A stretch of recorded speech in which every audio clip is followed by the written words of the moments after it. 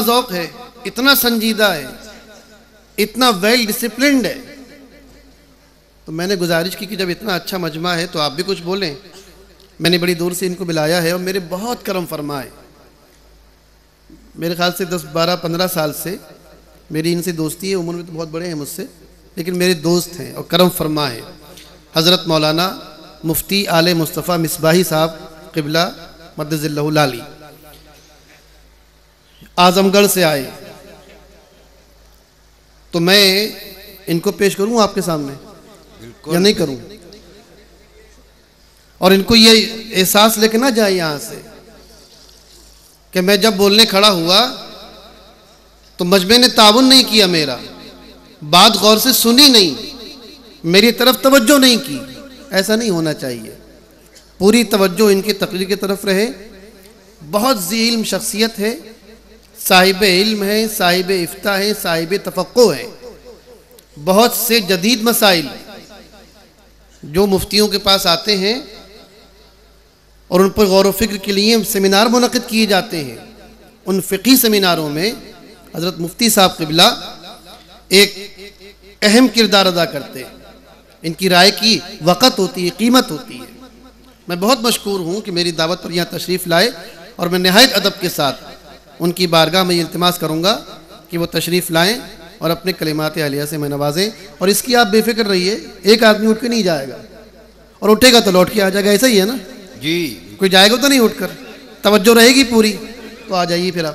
سبحان اللہ۔ نعرہ تکبیر نعرہ رسالت نعرہ غوث عرس قادری حضرت مفتی آل مصطفیٰ صاحب مصباحی۔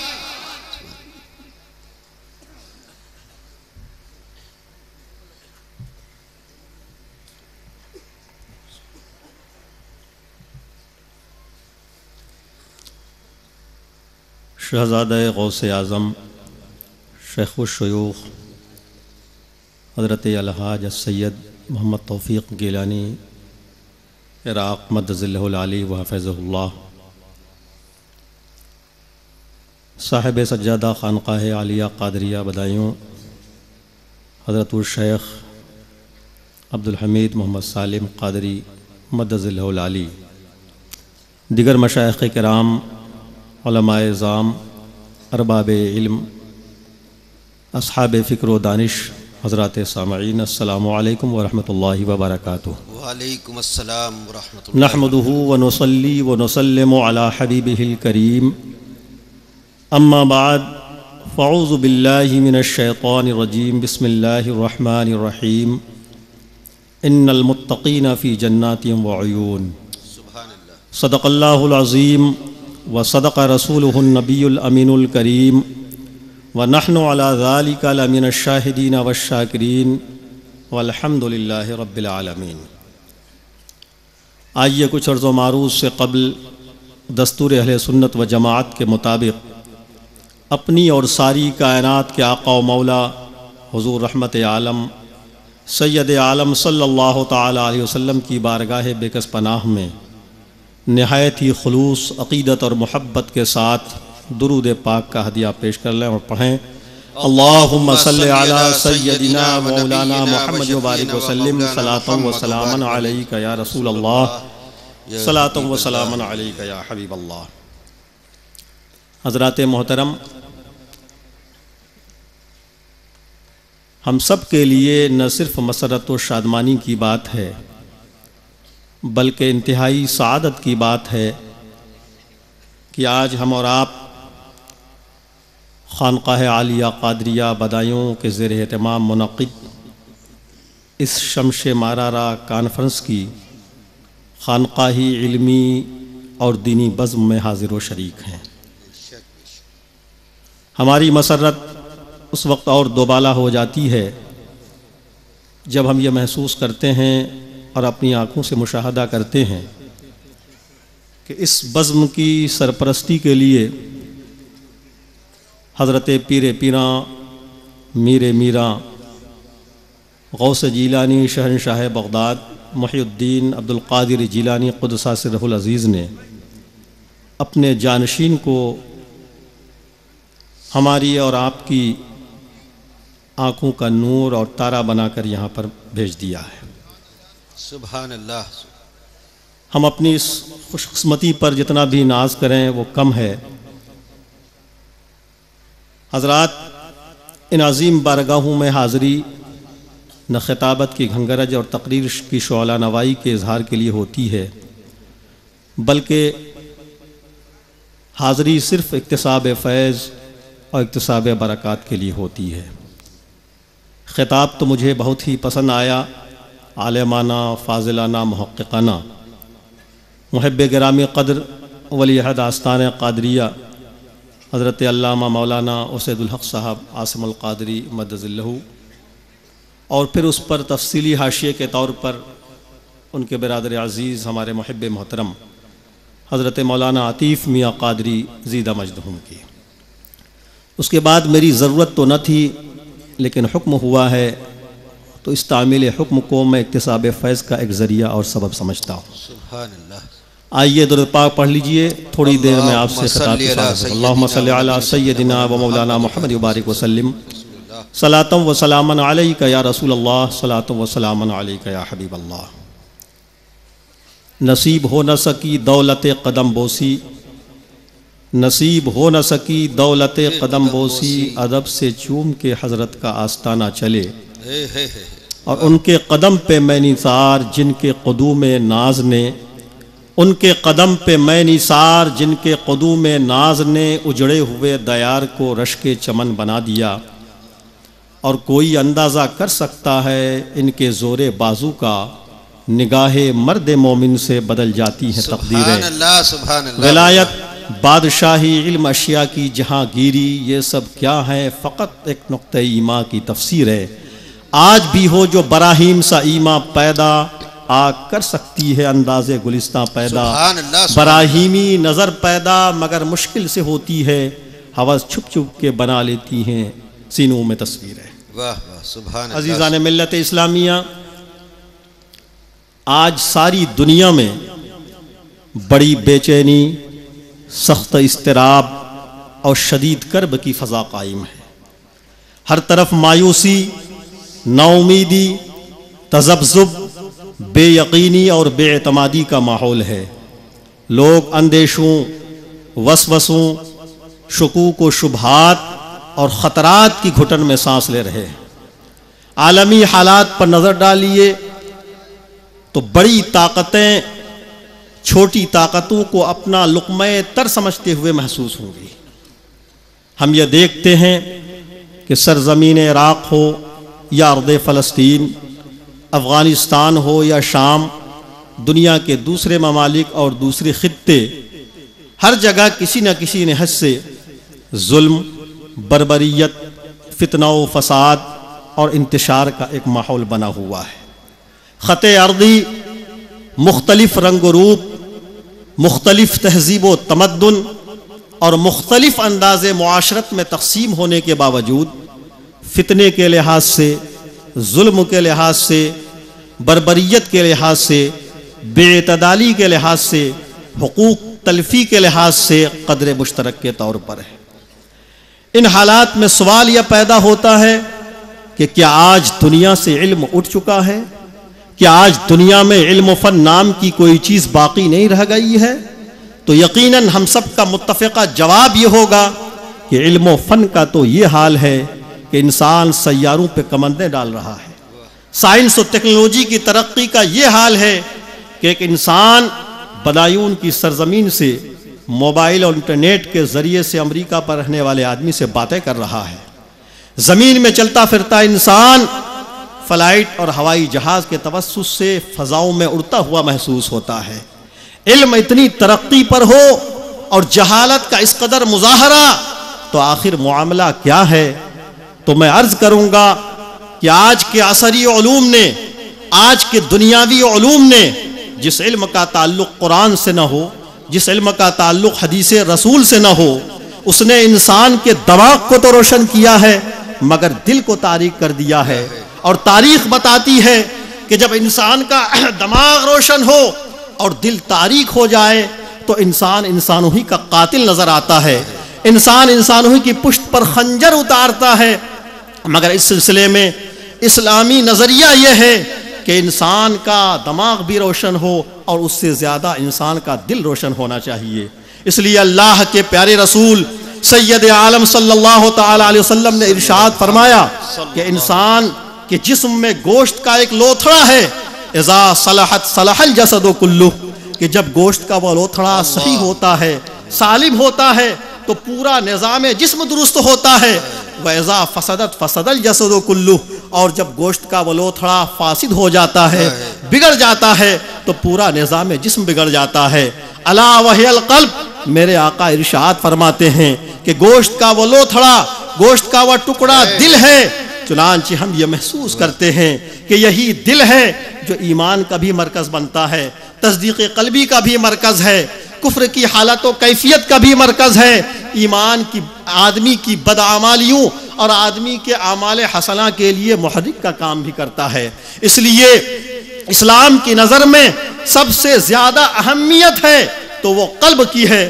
اس لیے تو ہمارے صوفیاء کرام نے جہاں پر شریعت کی تعلیم دی، وہاں پر تزکیے نفس کا خصوصی طور پر خیال رکھا۔ قرآن کریم نے اسی کی طرف تو اشارہ فرمایا ہے۔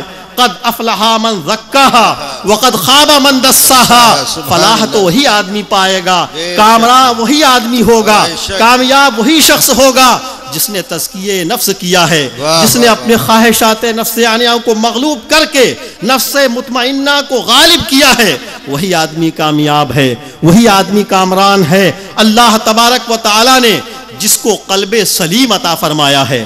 قلب سلیم کس آدمی کو عطا ہوتا ہے؟ وہی آدمی جسے دین کا علم ہو شریعت کا علم ہو اور وہ شریعت پر عامل بھی ہو۔ خواہ وہ علم کسبی طور پر اسے حاصل ہوا ہو یا وہبی طور پر اسے حاصل ہوا ہو۔ تصوف و روحانیت کے منزلوں سے جب آدمی گزرتا ہے تو اللہ تبارک و تعالیٰ اسے قلب سلیم عطا فرماتا ہے۔ مجھے یاد آ رہا ہے کہ حضرت سیدنا غوث اعظم رضی اللہ تعالیٰ عنہ سے کسی مرید نے پوچھا تھا کہ حضور کرامت کسے کہتے ہیں؟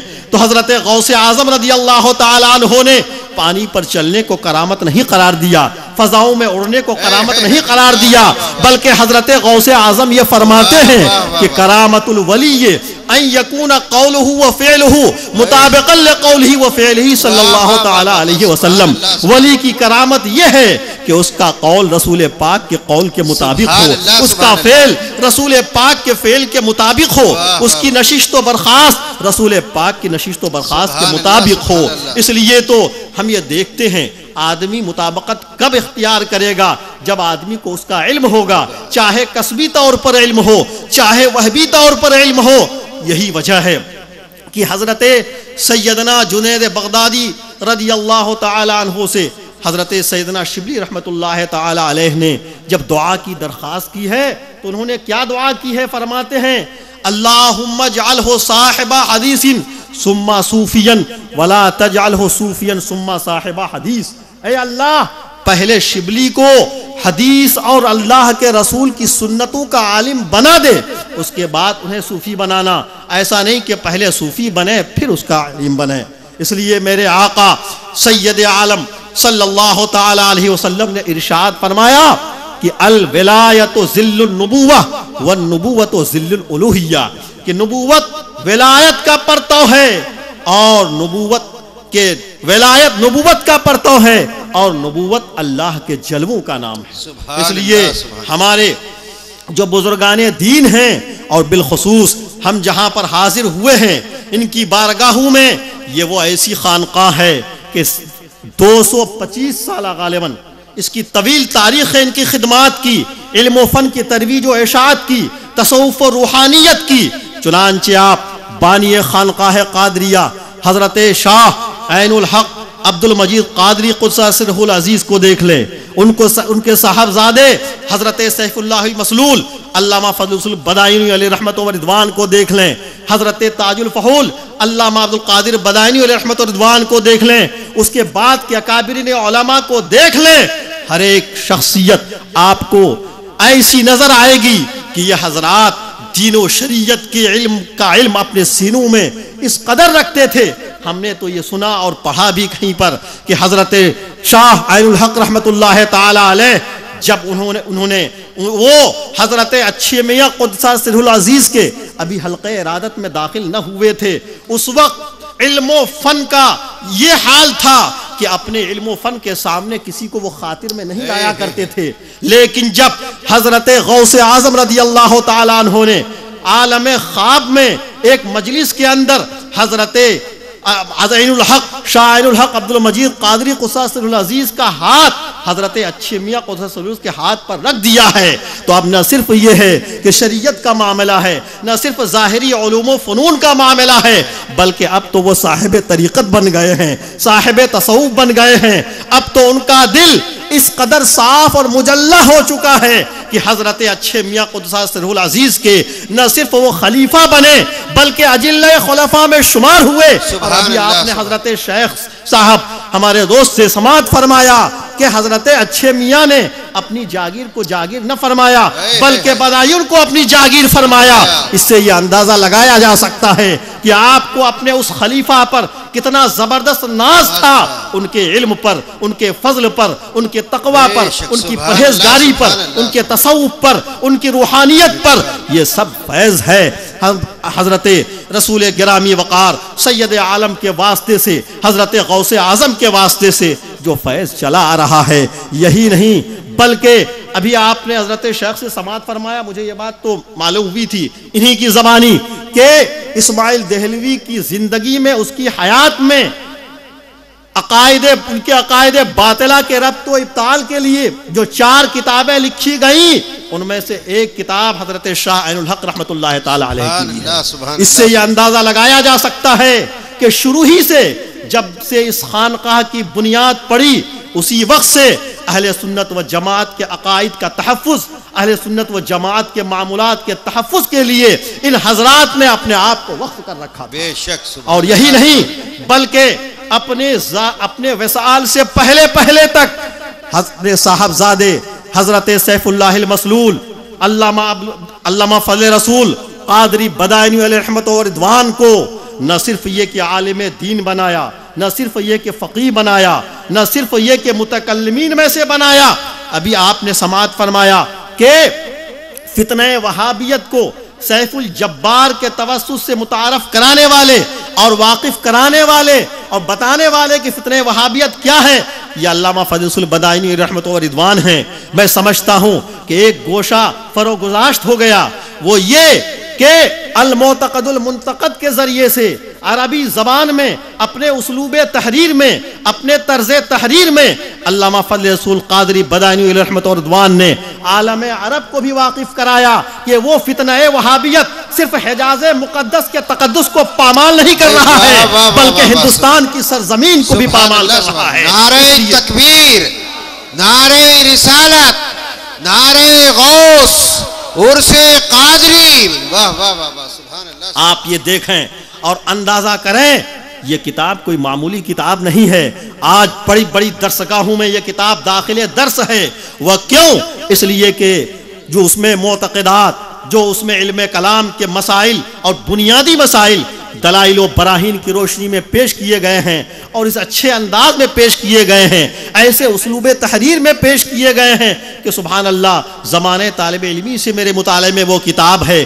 میں نے محال عقلی، محال شرعی، محال عادی، ان سب کی تعریف، ان سب کی مثالیں، ان سب کے درمیان نسبتوں کے تحقق کی صورتیں، یہ المعتقل معتقد ہی سے ہم نے سیکھی ہیں۔ اور ابھی ہم نے تقریباً ایک ہفتہ پہلے صلاۃ طیبی کے مقدمہ لکھنے کے لیے، اس میں جب ایک بحث آئی ایمان تقلیدی کی، تو ہم نے المعتقد اٹھائی۔ حالانکہ یہ بحث ابھی ہم نے دیکھی نہ تھی، مگر میرا مجدان گواہی دے رہا تھا کہ علم کلام کے تقریباً جملہ مسائل کو یا تو تفصیل کے ساتھ یا اختصار کے ساتھ اس میں ضرور بیان کیا گیا ہے، تو یہ مسئلہ ایمان تقلیدی بھی ضرور بیان کیا گیا ہوگا۔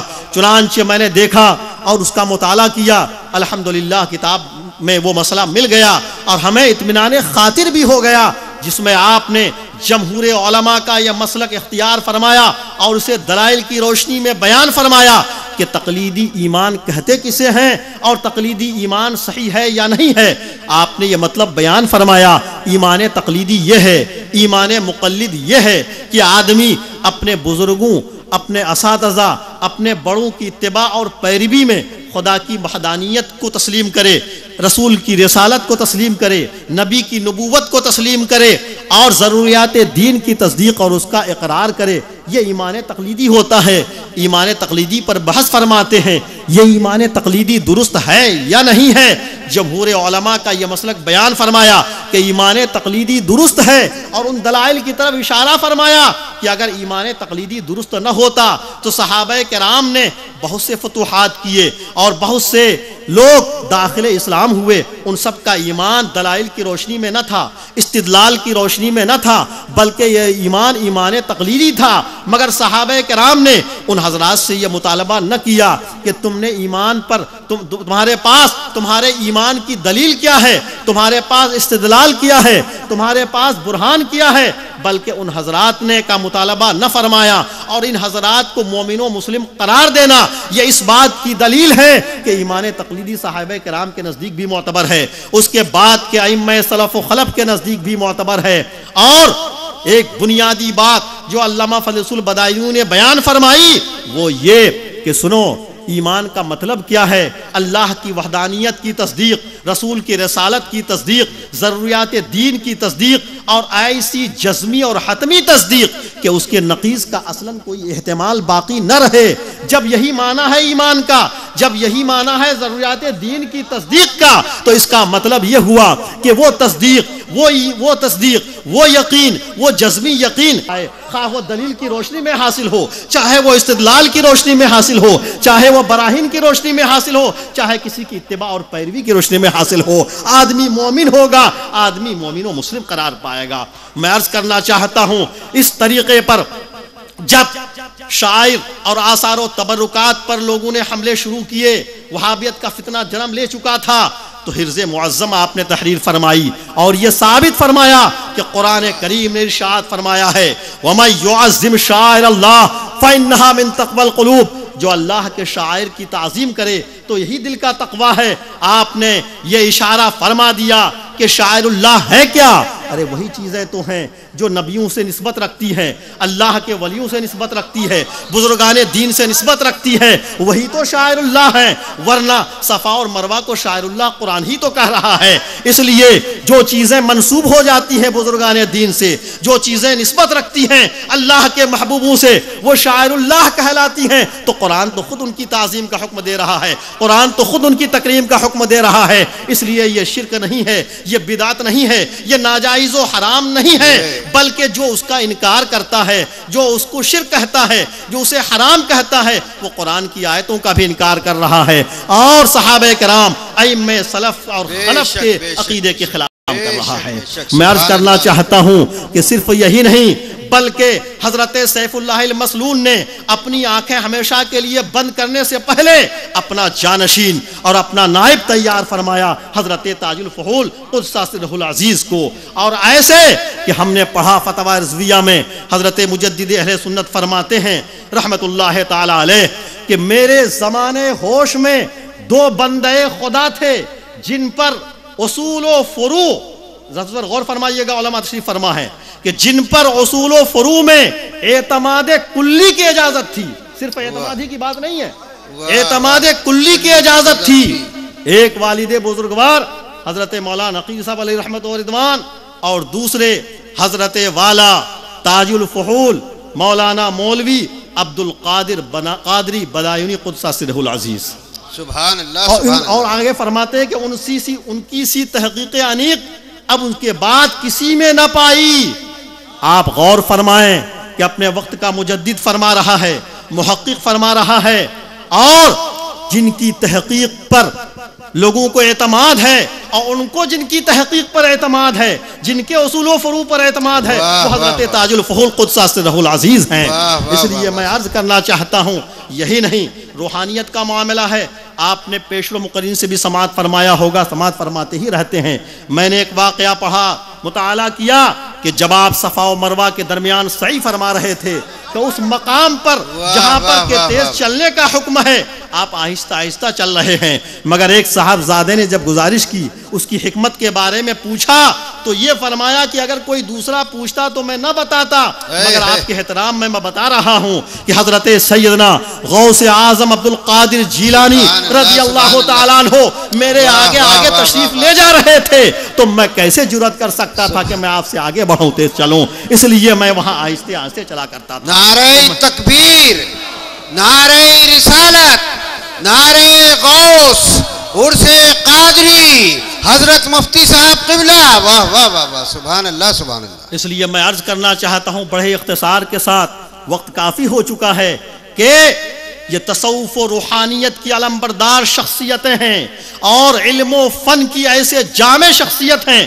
مختصر لفظوں میں آپ۔ کہہ لیجیے کہ جامع شریعت بھی ہیں جامع طریقت بھی ہیں تصوف و۔ روحانیت والی شخصیتیں بھی ہیں ایسوں کے بارے ہی میں تو قرآن میں کہا گیا کہ یا ایہا الذین آمنوا اتقوا اللہ وکونوا مع الصادقین سبحان اے ایمان۔ والو تقوی اختیار کرو پرہیزگاری اختیار کرو اور سچوں کے ساتھ رہو۔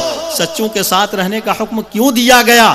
جب تقوی کا حکم ہو گیا آدمی صاحب ایمان بن گیا صاحب تقوی ہو گیا تو اب پھر ضرورت کیوں رہی؟ باقی اس لیے باقی رہی کہ اے لوگو اگر تم چاہتے ہو کہ تمہارا ایمان سلامت رہے اے لوگو اگر تم چاہتے ہو تمہارا تقوی سلامت رہے تو تمہیں بزرگوں کے دامن سے وابستگی اختیار کرنی ہوگی صالحین کے دامن سے وابستگی اختیار کرنی ہوگی حضرت شاہین الحق کے دامن سے وابستگی اختیار کرنی۔ ہوگی حضرت سیف اللہ المسلول کے دامن سے وابستگی اختیار کرنی ہوگی حضرت تاج الفحول اور حضرت عبد القدیر علی رحمت و رضوان کے دامن سے وابستگی اختیار کرنی ہوگی اس لیے قرآن نے وکون مع صادقین فرمایا، حضرت رسول گرامی وقار سید عالم صلی اللہ تعالی علیہ وسلم کی ایک حدیث ہمیں یاد آ رہی ہے۔ میرے آقا ارشاد فرماتے ہیں کہ میری امت میں ستر ہزار ایسے افراد ہوں گے کہ جو بلا حساب و کتاب جنت میں جائیں گے۔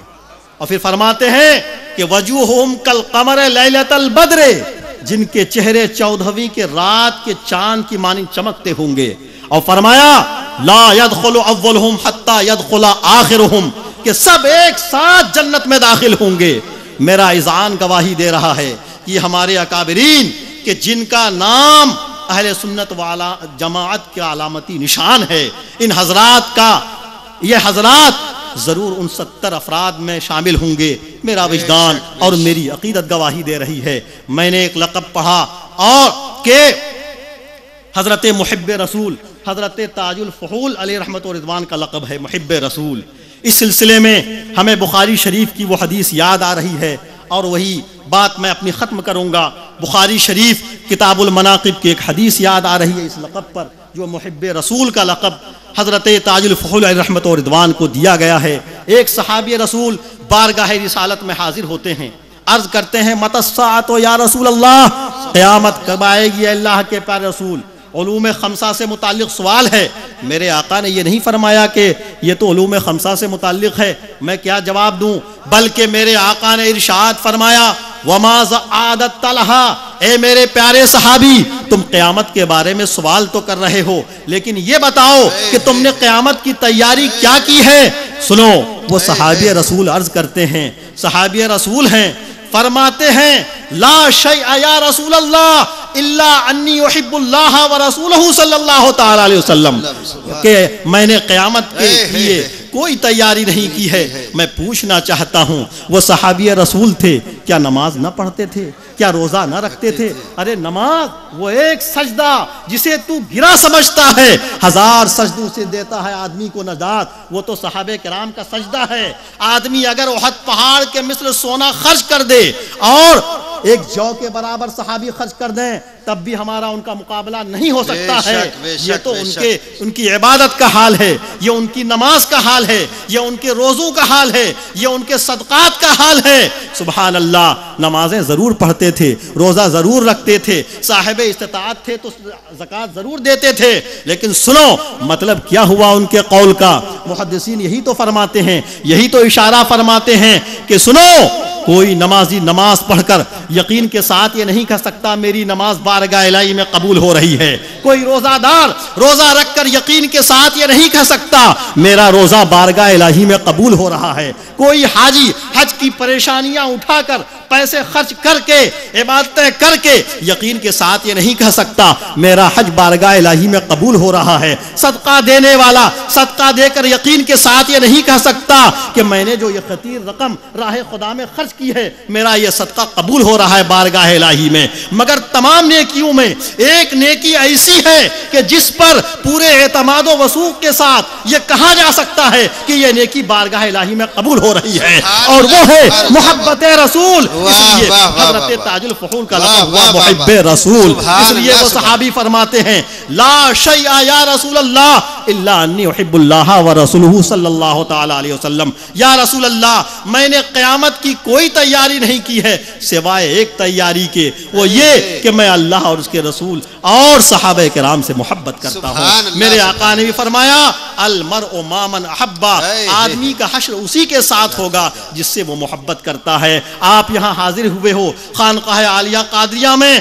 اگر آپ کی محبت حضرت شاعر الحق سے ہے اگر آپ کی محبت سیف اللہ المسلول سے ہے اگر آپ کی محبت تاج الفحول سے ہے اگر آپ کی محمد حضرت شاہ عبد القدیر اور شاہ عبد المقتدر بدائنی قدس اسرارہم سے ہے تو انشاءاللہ تعالی آپ کا حشر بھی انہی کے ساتھ ہوگا۔ ہم دعا گو ہیں کہ اللہ تبارک و تعالی ہمیں ہمارے علماء ہمارے عوام اور سنی مسلمانوں کا حشر ان تمام بزرگوں کے ساتھ کرے۔ وما عین باغ السلام علیکم۔ سبحان اللہ سبحان اللہ سبحان اللہ حضرات بارگاہ رسالت میں آپ صلی اللہ تعالی علیہ وسلم میں نذرانہ عقیدت پیش فرمانے کے لیے درخواست کر رہا ہوں۔ حافظ محمد عامل ثقلینی سے کہ مائک پر تشریف لائیں، بارگاہ رسالت معاب صلی اللہ تعالی علیہ وسلم میں نذرانہ عقیدت پیش فرمائیں، حافظ محمد عامل ثقلینی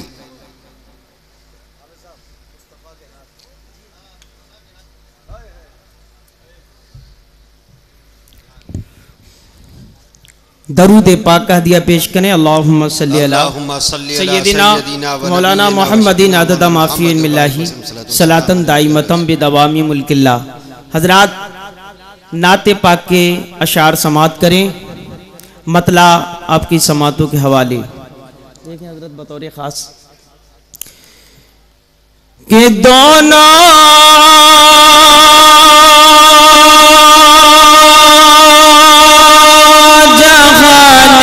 ہیں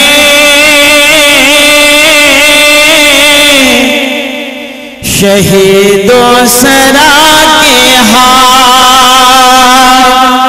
کہ دونوں جہان پر ہیں۔ شہید و سرا کے ہاتھ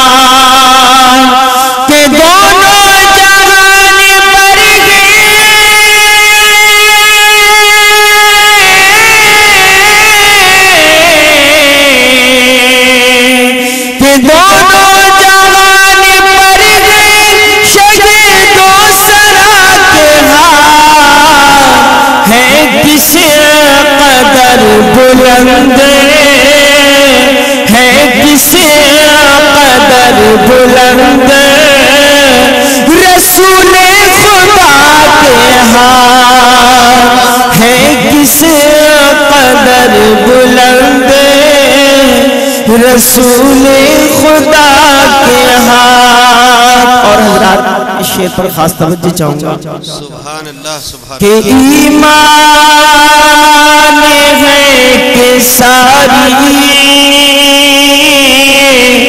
عطا ہے خدا کے ہاتھ کہ ایمان ہے کہ ساری عطا ہے خدا کے ہاتھ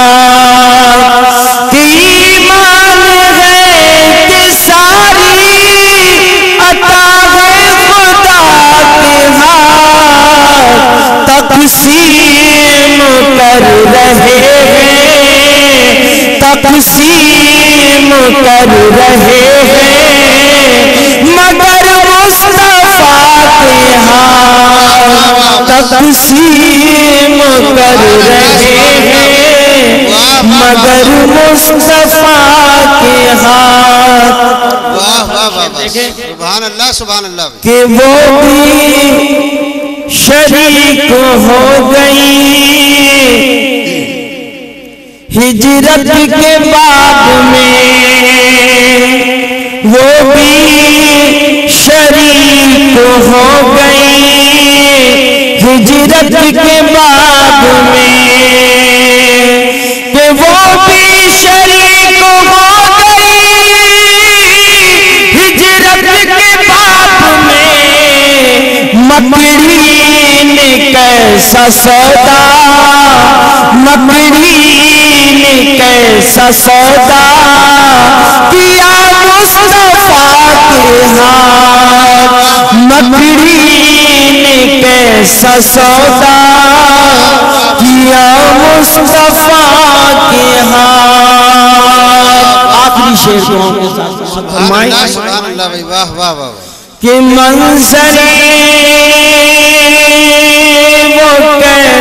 کیسا ہوگا۔ گناہگار کے لیے منظر وہ کیسا ہوگا؟ گناہگار کے لیے کہ منظر وہ کیسا ہوگا؟ گناہگار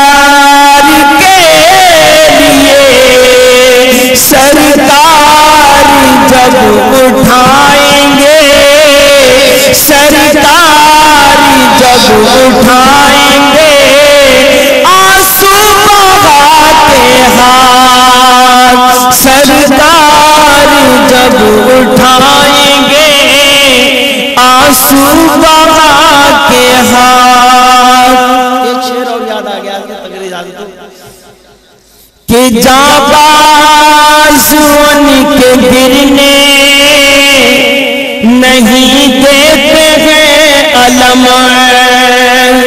کہ جاں کے گرنے نہیں دیتے ہیں علم۔ کہ جاں کے گرنے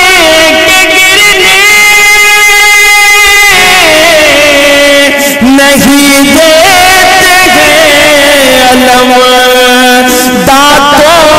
سے روک لیتے ہیں۔ دانتوں سے روک لیتے ہیں۔ اپنے کٹاتے ہاں۔ سبحان اللہ سبحان اللہ بھائی۔ واہ واہ واہ واہ واہ۔ سبحان اللہ سبحان اللہ۔ سبحان اللہ سبحان اللہ۔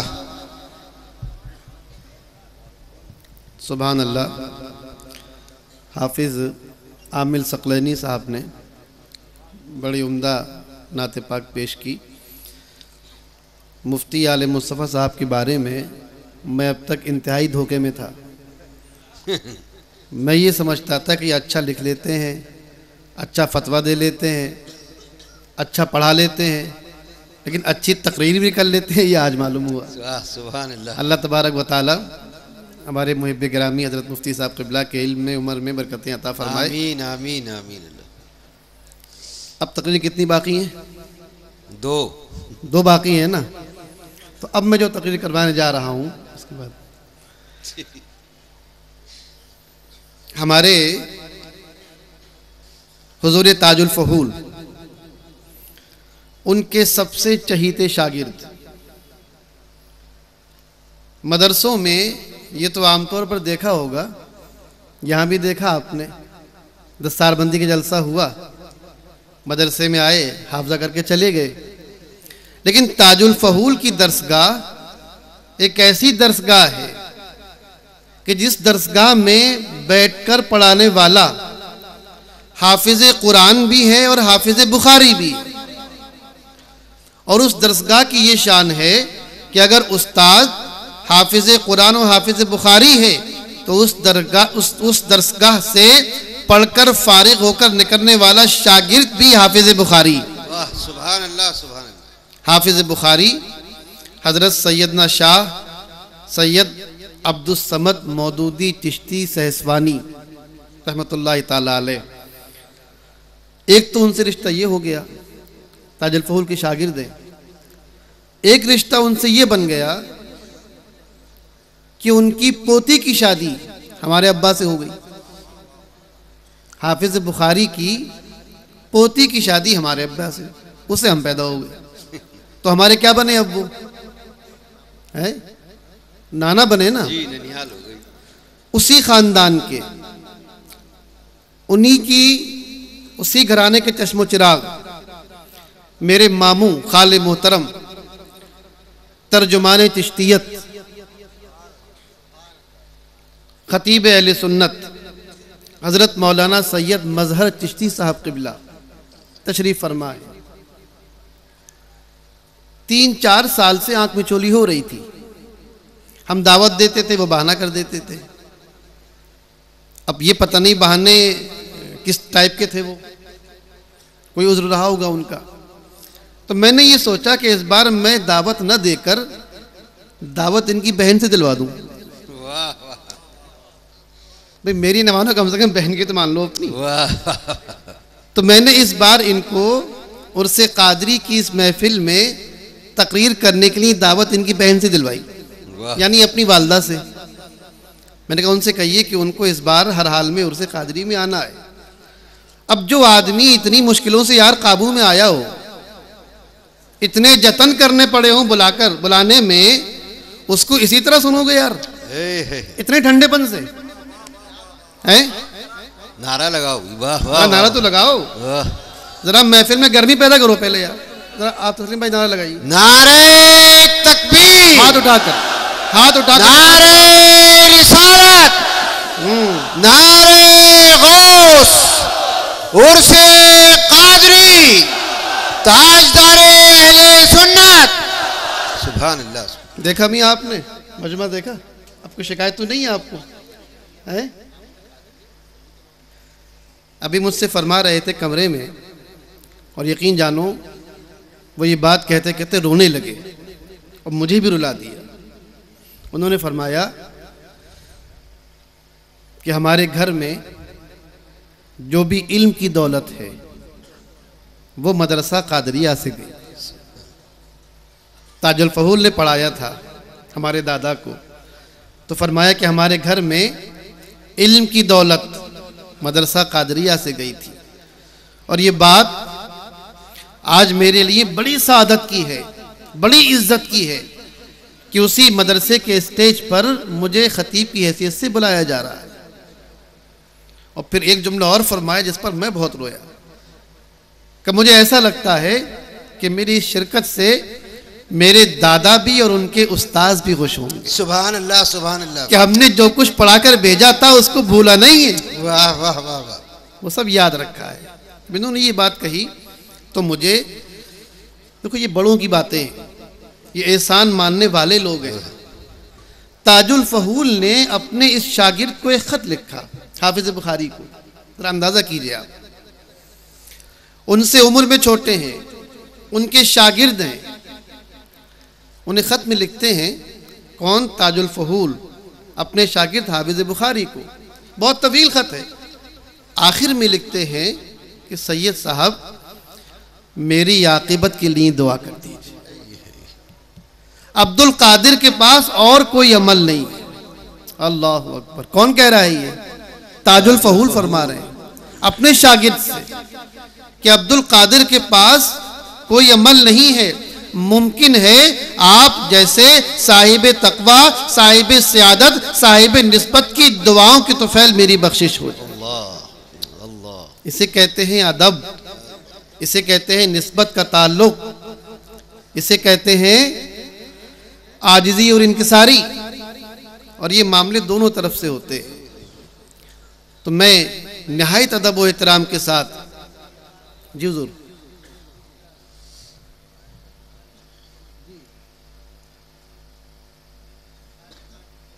جی کیا بات ہے صاحب؟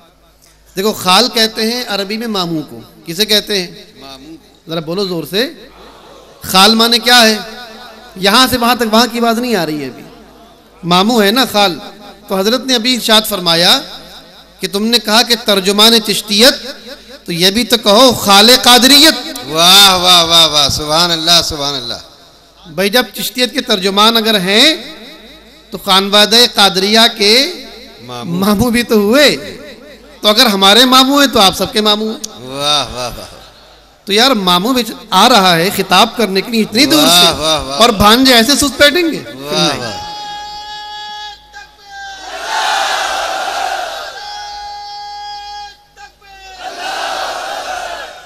نعرہ رسالت نعرہ غوث عرس قادری نبیر حافظ بخاری۔ ماحول صاحب پورا بن گیا ہے۔ اب آپ کی ذمہ داری پہ ہے صاحب۔ واہ۔ میں نے اپنی ذمہ داری پوری کر دی۔ اور آپ یقین جانیے انشاءاللہ کہ جو لوگ بیٹھے ہوئے ہیں یہ اس شیخ کامل کا دامن اپنے ہاتھ میں لیے ہوئے ہیں۔ کہ اس کی بات تو بہت بڑی بات ہے۔ اس کے ان ناکارہ بیٹوں کی بات بھی نہیں ٹالتے۔ میں نہایت ادب سے عرض گزار ہوں۔ حضرت سید مظہر میاں چشی صاحب قبلہ کا کہ وہ تشریف لائیں اور اپنے بھرپور پرمغز ولولہ انگیز خطاب سے ہمیں نواز دیں۔ سبحان اللہ سبحان اللہ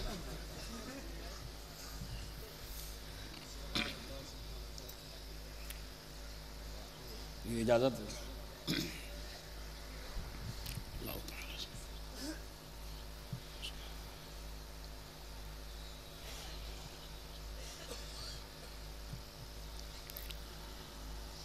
السلام علیکم ورحمۃ اللہ تعالی وبرکاتہ۔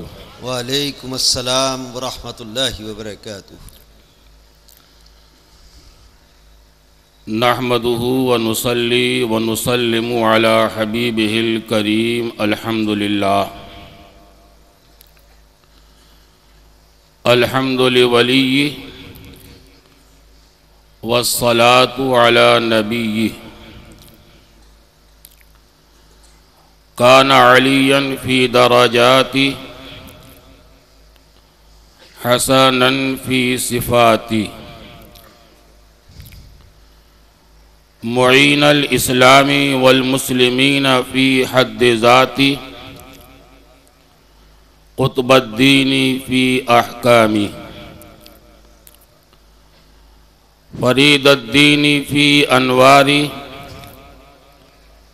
نظام الدین فی ابراری صمدن فی مرضاتی مصباحا فی زجاجتی محمدا فی محامدی وعلى آلہ واصحابہ وبارک وسلم. سبحان اللہ. اما بعد فاعوذ باللہ من الشیطان الرجیم بفضل بسم اللہ الرحمن الرحیم قد جاءكم من الله نور وكتاب مبين سبحان اللہ سبحان اللہ صدق الله العلي العظيم وصدق رسوله النبي الأمين الكريم ونحن على ذلك لمن الشاهدين والشاكرين والحمد لله رب العالمين.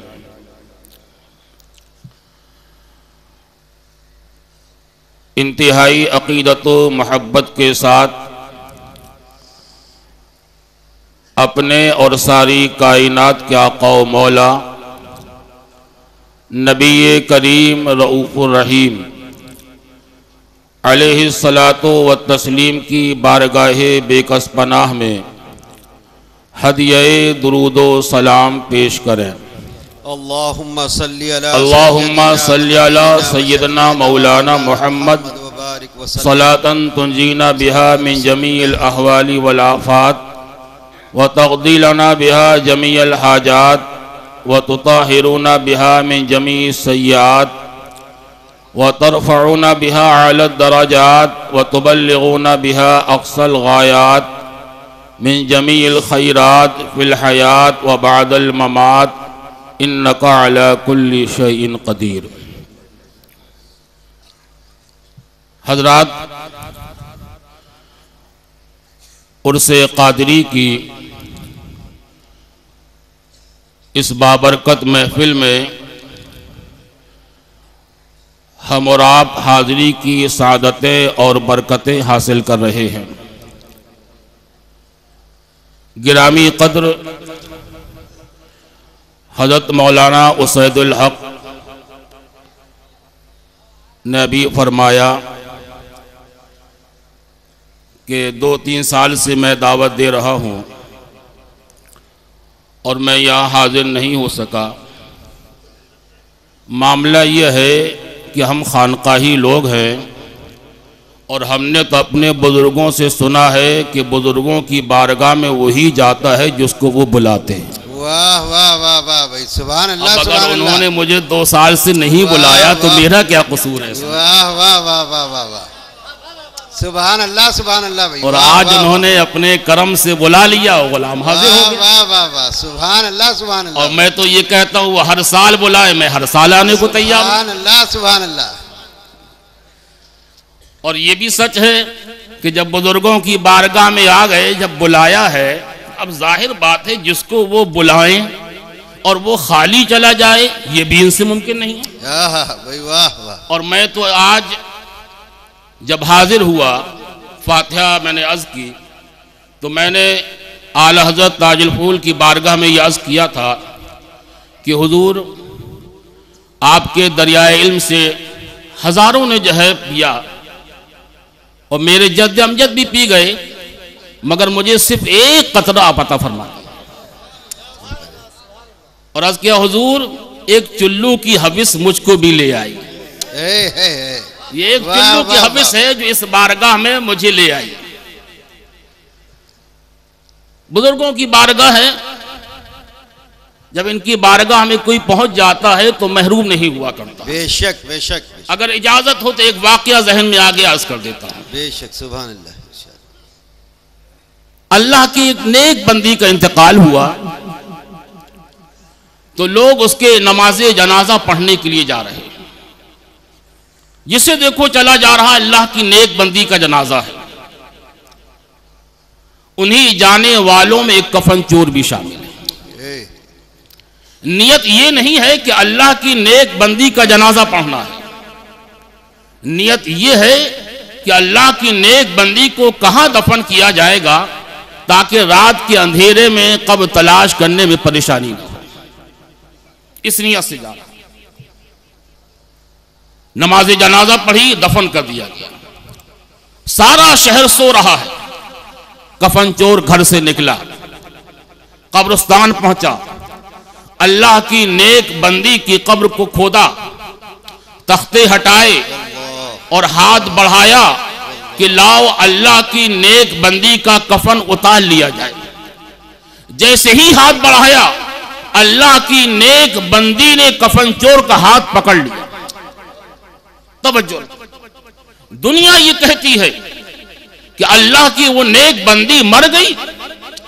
دنیا نے مرا سمجھ کر منو مٹی کے نیچے دبا دیا۔ مگر واقعہ یہ بتا رہا ہے کہ اللہ کی نیک بندی صرف زندہ ہی نہیں ہے بلکہ اس کفن چور سے اشاد فرماتی ہے کہ سبحان اللہ رجل مغفور یا خودو کفنا مغفور۔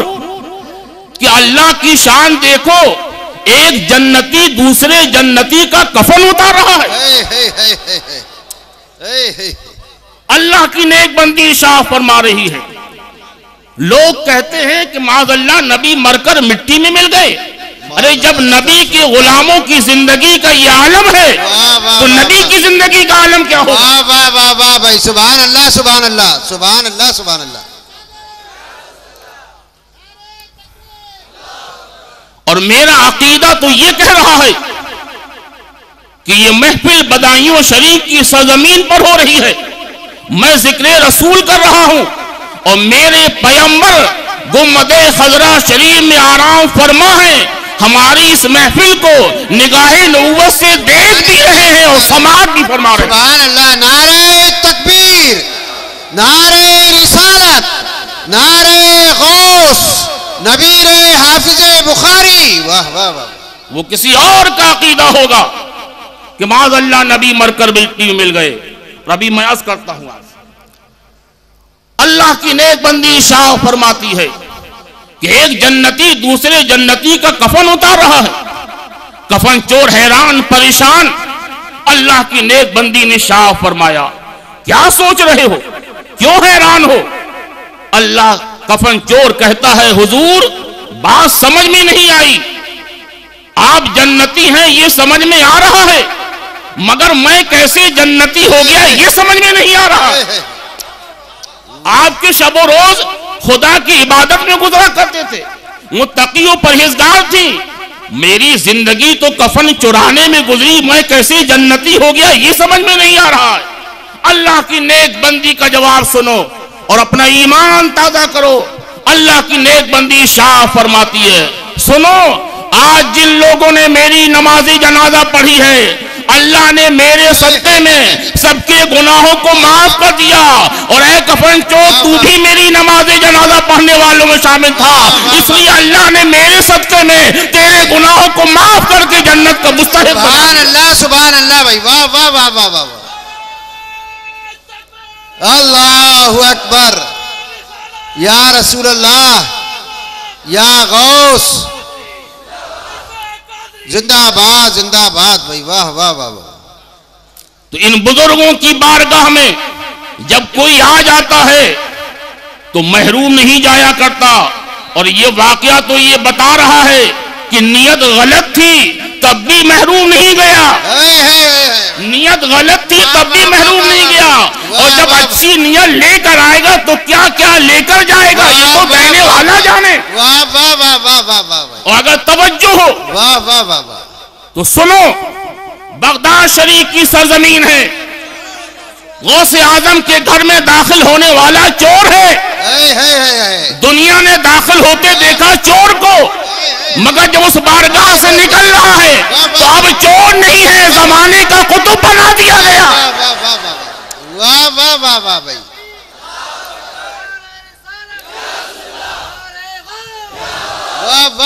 جب ان کے گدا بھر دیتے ہیں شاہان زمانہ کی جھولی۔ ارے محتاج کا جب یہ عالم ہے مختار کا عالم کیا ہوگا؟ واہ واہ واہ واہ واہ سبحان اللہ سبحان ارے میرے نبی کی اختیار کی بات کرتے ہو۔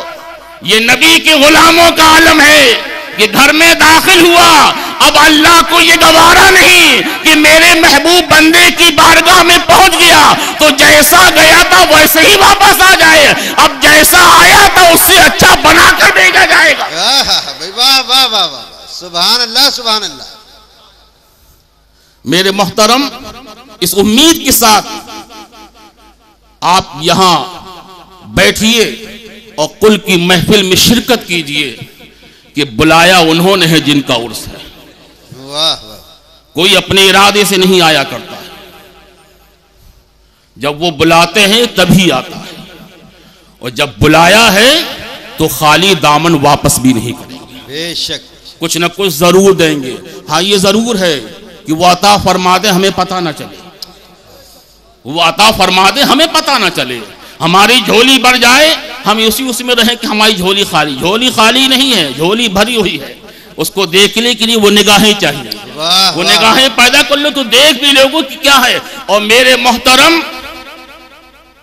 جہاں تک ملنے والی بات ہے وہ تو حضرت شیخ نے آپ کو عطا فرما دیا۔ جس کے عرص میں آئے ہو کبھی وہ خود دیا کرتے ہیں اور کبھی اپنے پیاروں سے دلوایا کرتے ہیں۔